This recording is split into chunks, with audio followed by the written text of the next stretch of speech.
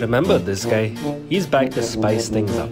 Surya took the world's best plant protein and your favorite tropical fruits to come up with no nonsense plant protein in Alphonso mango and watermelon pineapple. Cut. What? Aren't we going to tell them how good it tastes? They already know. But I mean, we have to tell them it's, it's gut friendly. They know it. What about artificial flavors? Trust me, they already know. And if you don't,